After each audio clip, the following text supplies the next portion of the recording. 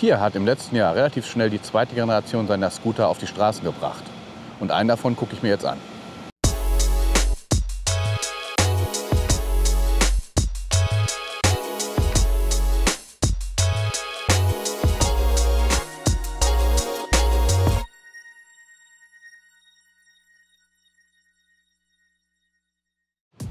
So, ich habe mir jetzt ein Tier der zweiten Generation geschnappt. Und was mir direkt aufgefallen ist, wir haben uns ja auch den Tier der ersten Generation angeschaut, die waren halt relativ abgerockt dafür, dass sie eigentlich eine kurze Zeit erst hier in Dortmund auf den Straßen waren. Die sind jetzt ein bisschen über einen Monat hier unterwegs und dafür in einem echt guten Zustand.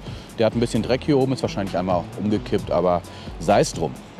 Was einem direkt auffällt, ist, ähm, die Dinger sind stabiler gebaut, ein bisschen mächtiger, ähnlich wie die Cirques der zweiten Generation. Die habe ich mir auch bereits angeschaut. Ich möchte auch kein Vergleichsvideo jetzt hier raus machen, aber ein paar Vergleiche muss man einfach ziehen. Ähnlich wie beim Cirque ist die Lenkstange dicker geworden, kräftiger. Ich glaube, gefühlt nicht ganz so dick und stark wie beim Cirque, aber beim Cirque ist sie eckig, vielleicht macht es einfach einen anderen Eindruck. Das Trittbrett ähnlich, ist ein bisschen breiter geworden, äh, macht einen stabileren Eindruck und ich bin die auch schon relativ häufig gefahren hier in Dortmund. Und es ist eigentlich mein Lieblingsscooter gewesen, bis ich jetzt den neuen Cirque gefahren habe, der mir noch besser gefällt, weil er fährt sich halt einfach auch stabiler. Und auch auf dem Trittbrett hat man einen guten Halt. Ich habe gerade auch, als ich ihn geholt habe, mir die Mütze gerichtet und bin einhändig gefahren. Sollte man nicht machen, aber hat auch gut geklappt. Äh, kann ich zum Beispiel auf einem Leim gar nicht machen. Der ist hier halt viel zu äh, wobbelig, sag ich mal. Wenn wir aber schon mal da unten sind beim Trittbrett, ein Feature, was die jetzt auch haben, ist, äh, darunter ist der Akku und der Akku ist austauschbar. Das ist super, super für die Umwelt. Äh, jetzt für mich als Endnutzer erstmal nicht direkt, aber eine gute Sache. Also Tier muss nicht mehr die Dinger einsammeln, irgendwo laden, sondern sie fahren einfach rum, hoffentlich auch mit einem äh, Lastenrad oder irgendwas äh, ökologisch sinnvollen und tauschen einfach die Akkus dann aus und stellen die Dinger nochmal vernünftig auf. Hinterm Trittbrett haben wir das hintere Schutzblech. Das ist auch sehr stabil. Nicht ganz so stabil wie der Cirque. Da ist das halt auch noch großflächig um den Reifen rum. Aber wenn man drauf tritt, das hält auch schon ein bisschen was aus. Wenn wir gleich da unten sind, die Reifen sehen erstmal ähnlich aus, ähm, sehen ein bisschen dadurch, dass sie so schwarzes äh, Plastik, Metall haben, nicht so ähm, fancy aus wie beim Cirque, da sind die so ein bisschen chrom. Ähm, aber wie gesagt, man kann nichts dagegen sagen, die fahren super, äh, super Straßenlage. Gehen wir aber mal hier oben zum Lenker. Wir haben immer noch ähm, ein Display, das zeigt den Akku an und die Geschwindigkeit. Darüber haben wir den QR-Code, wenn man das Teil scannt.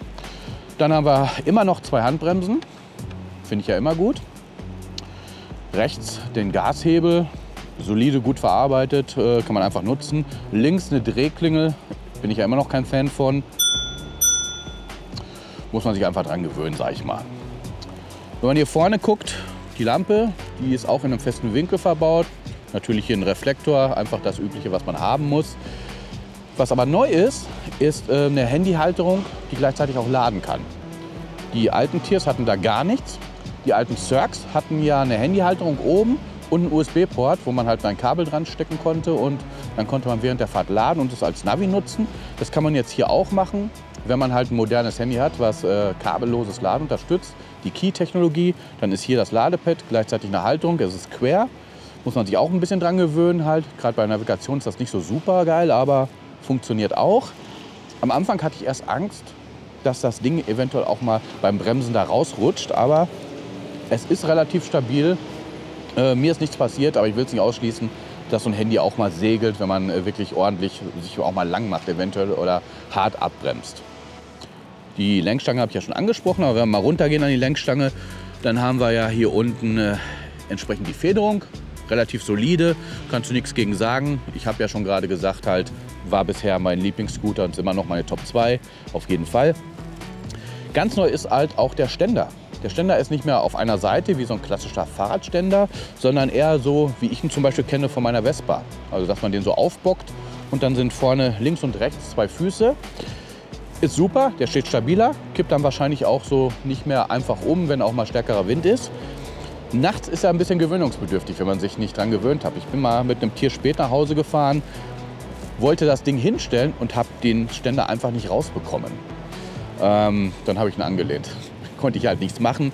Aber ansonsten finde ich es eine gute Idee, den zu haben. Ja, und das würde ich mal sagen zu den äußerlichen Features. Ich fahre jetzt noch mal eine Runde und ähm, gebe dann noch mal mein Fazit ab. Aber das wird sich, glaube ich, nicht so viel ändern, weil ich ja schon sehr zufrieden bin.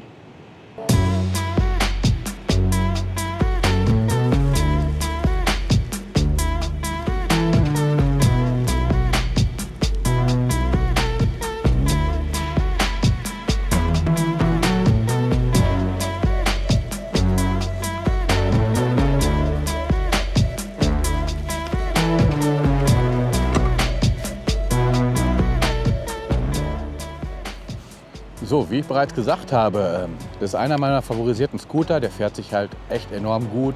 Gute Lage. Ähm, hier hat es richtig gut Spaß gemacht, äh, weil der Boden auch schön war. Die Reifen greifen gut. Äh, beim Bremsen slidet man auch, wenn man Spaß dran hat. Äh, auf jeden Fall eine Empfehlung. Ich fahre den Tier sehr gerne. Bei der App, ähm, da hat sich nicht so viel getan. Man hat immer noch keine Übersicht über die einzelnen Fahrten, also da ist echt Nachholungsbedarf. Aber mittlerweile gibt es bevorzugte Parkzonen. Leider nicht in Dortmund. Aber wenn man dort in so einer bevorzugten Parkzone parkt, dann bekommt man drei Freiminuten von Tür. Das finde ich eine schöne Sache. Der Fahrer, der hat was davon, der hat Spaß, kann auch ein bisschen fahren. Und Tier und die Stadt hat auch was davon, dass die Dinger nicht einfach kreuz und quer stehen, sondern vernünftig in bestimmten Parkzonen entsprechend abgestellt werden. Also ich fahre auf jeden Fall weiter den Tier, natürlich auch den Cirque und äh, danke fürs Zuschauen.